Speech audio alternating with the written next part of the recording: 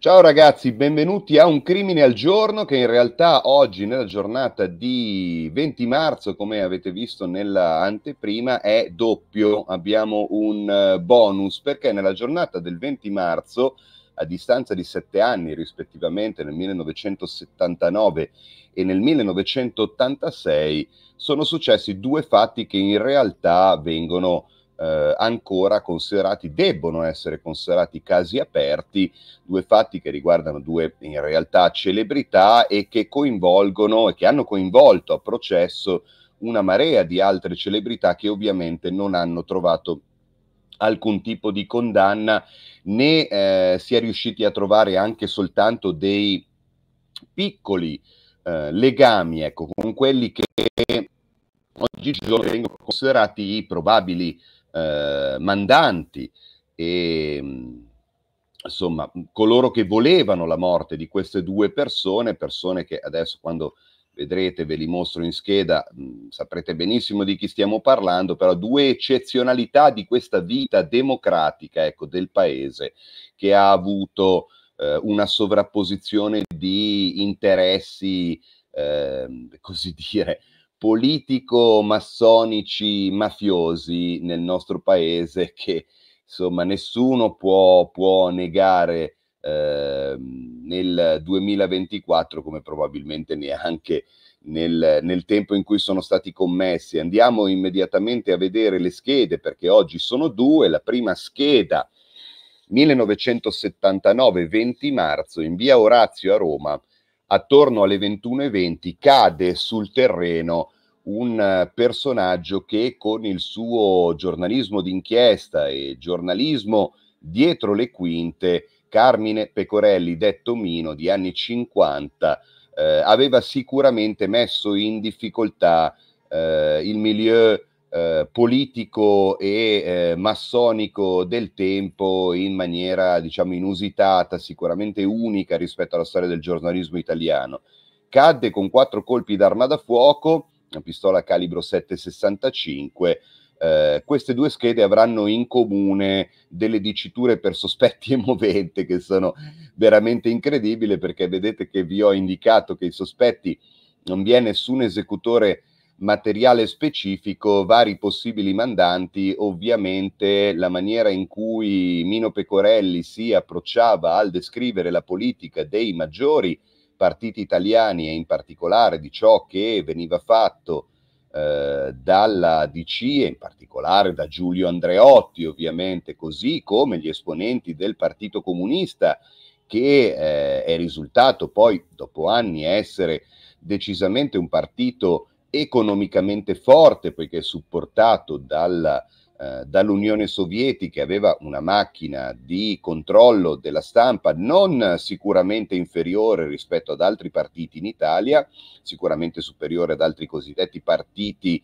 di eh, opposizione. E eh, il movente non determinato, ma io l'ho indicato come un incontro di interessi massonico-politico mafiosi. Viene anche indicato Mino Pecorelli come appartenente alla loggia P2 che avrà una marea di aderenti, eh, fra cui ovviamente eh, alcuni degli stessi possibili mandanti dell'omicidio di Mino Pecorelli che stava lavorando a qualcosa che non è mai effettivamente emerso eh, in, eh, nelle ultime, in quella famosa ultima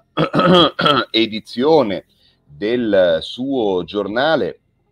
personale appena eh, prima della morte eh, che potevano riguardare insomma questioni eh, relativi ai compromessi piuttosto che i legami fra lo IOR e eh, la gestione economica della mafia. Ehm, di Cosa Nostra, scusate, mh, così come eventualmente ehm, la gestione stessa della eh, chiarissima eh, politica della eh, tensione che veniva applicata oramai da anni per distruggere completamente le posizioni, diciamo, avverse al cosiddetto regime democratico e mh, centralizzare il controllo, sta di fatto che nel 1979 alle 21.20 Mino Pecorelli cadde con quattro colpi d'arma da fuoco e io ho messo colpevole in attesa di giudizio, bisognerebbe in realtà dire colpevole in, eh, eh,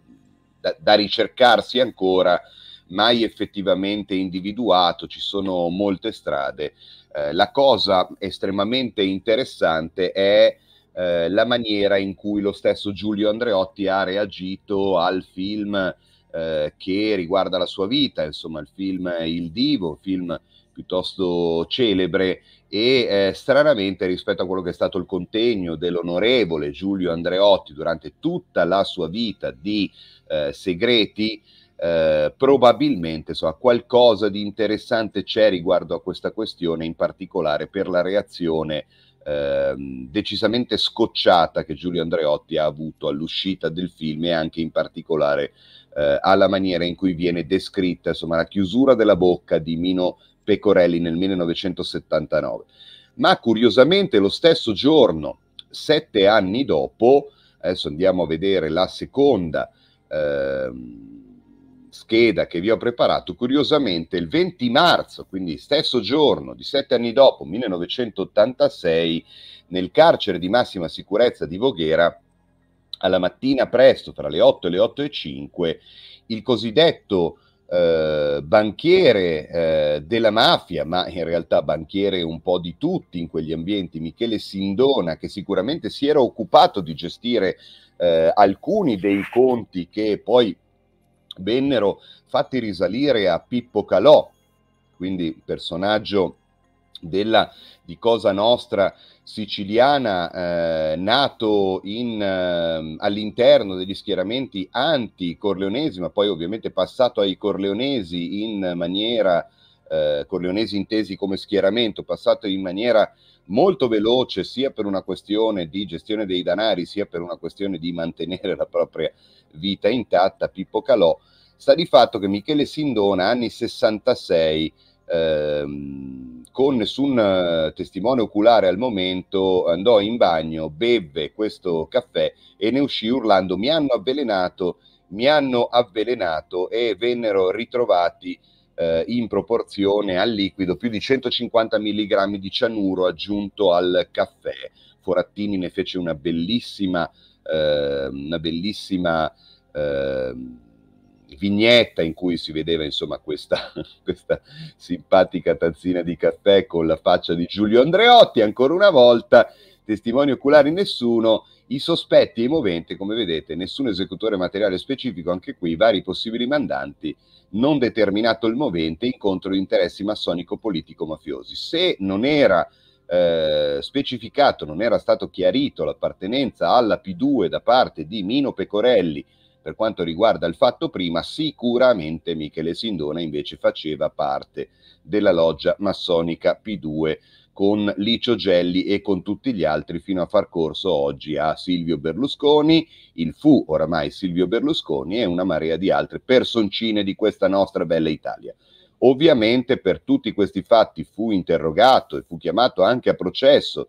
per quanto concerne i fatti mafiosi Giulio Andreotti, che pare essere la persona che probabilmente si è portato nella tomba più segreti di tutti in Italia, ma entrambi questi due casi vengono considerati e probabilmente ho il timore che in Italia verranno considerati casi aperti per chissà quanto. Con il 20 marzo a un crimine al giorno abbiamo finito, oggi abbiamo fatto il bonus, ci vediamo domani 21 marzo alla Botteguccia dei Sigilli con un'altra pillola di crimine per voi.